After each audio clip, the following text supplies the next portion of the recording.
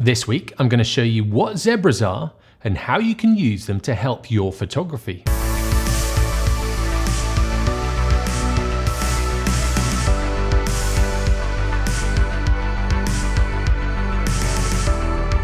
The zebra function is a highlight warning indicator and it's come across from videography. But now we have hybrid cameras that can shoot both video and stills.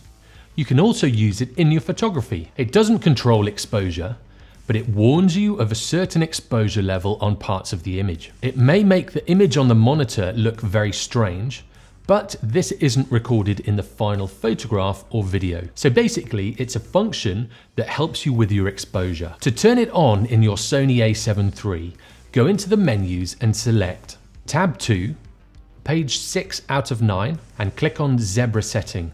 Turn them on, and then select Zebra level. In this, you'll have settings from 70 to 100 plus, and then two custom settings. The numbers can be equated to IRE levels.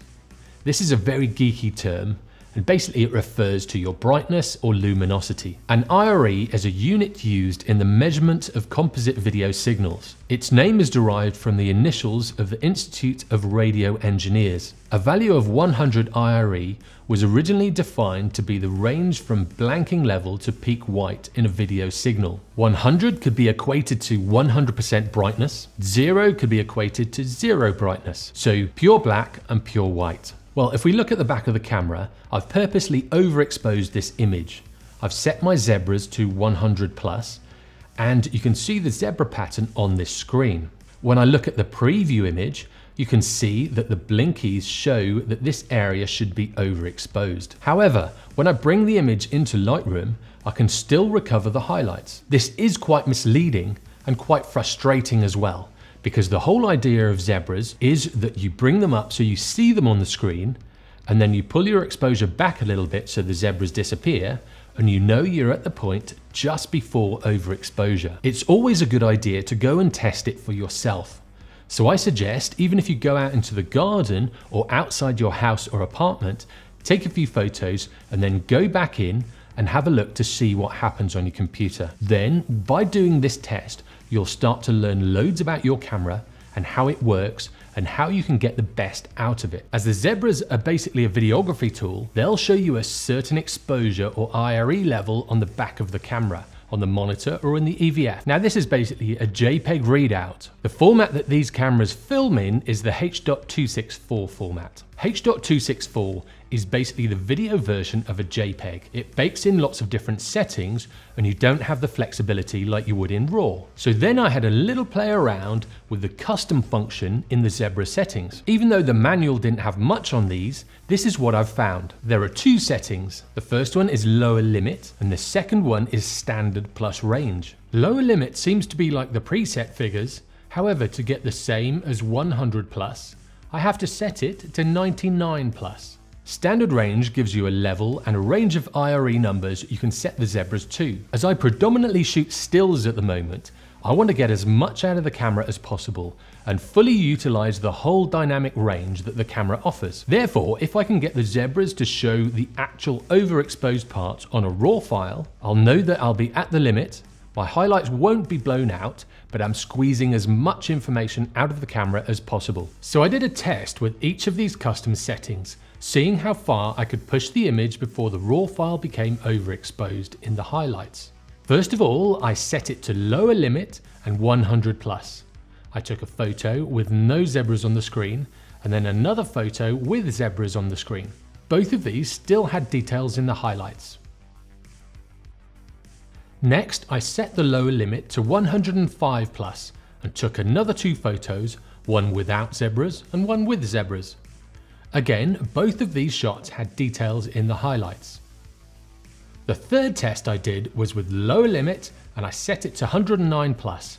Again, I took two photos, one with zebras and one without.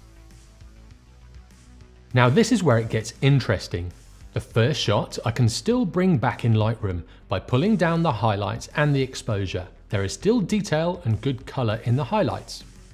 With zebras showing at this level, now when I try and pull the highlights back, I start seeing some funky colours in the sky. This shows that it's lost certain colours and basically these have blown out and the camera hasn't recorded any details in all of the colour channels. So therefore when I set it to this limit and there are no zebras, I know that I'm at the limits of my highlights I'm not overexposing them and I'm not underexposing them. Now, as I'm pushing this camera as far as it can go and really squeezing as much detail out of the highlights, I'm gonna test this over the next month or so just to see what results I get. I'll be keeping the zebras set to lower limit, 109 plus, just to see what results I get. I'll make sure when I'm exposing the shot, I'll get the highlights on the screen and then I'll bring the exposure down a little bit to get rid of those zebras. It'll be interesting to see how the camera copes, whether or not I start losing details in the highlights, and also to squeeze as much of the dynamic range out of the camera as possible. If you want to see how I get on over the next month with these settings, head over to my website, scroll down to the bottom of my homepage and sign up for my weekly newsletter.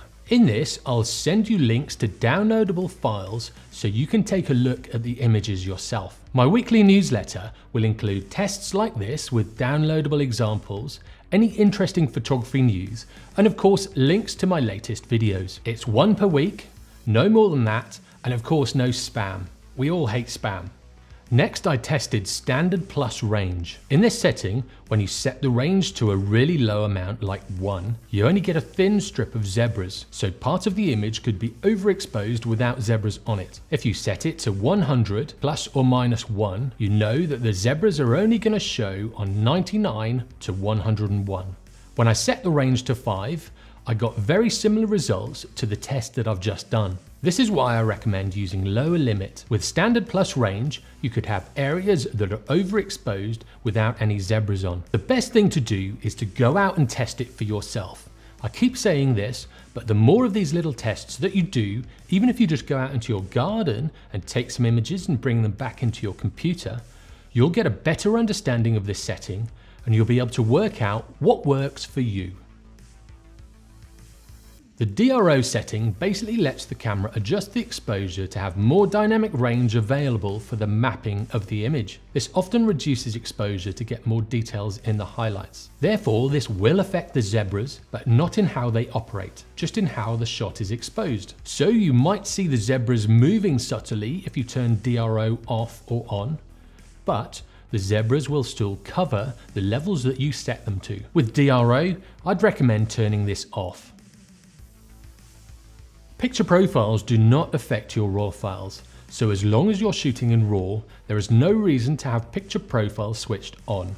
These are mainly a function for videographers to get as much dynamic range out of the shot as possible. They are profiles that are baked into a video file or a JPEG. So as long as you're shooting in RAW, which you should be doing, you should keep this function off when shooting photographs. Another use for zebras is where you can get a good exposure on a person's face. If you take an average Caucasian person, you set your zebras to 70. When you then get them on the screen, you'll set the exposure so you can see the zebras on their face. So for an example, I've set this camera up to level 70 and you can see I've set the exposure so these zebras do appear on the brighter parts of my face. When I switch to the normal view, you can see I've got good exposure. In theory, this works really well, but say if you have someone with very pale skin, or slightly tanned skin, then this may mess up the system. So I stay away from this one. Now, even though I don't use this technique, I'm just making you aware of it so then you have the option of using zebras in this way. And that's about it. Zebras are a really good tool to use to help you set your exposure correctly. If you don't mind the zebra pattern being on the image of the back of the screen, knowing that it's not going to be there on the final image, you can use this and very quickly dial in your exposure. As always, if you like what you see, give me a thumbs up. If you didn't, give me a thumbs down. And for weekly tutorials, hints and tips in photography and videography, subscribe and turn on notifications. I'll see you next time.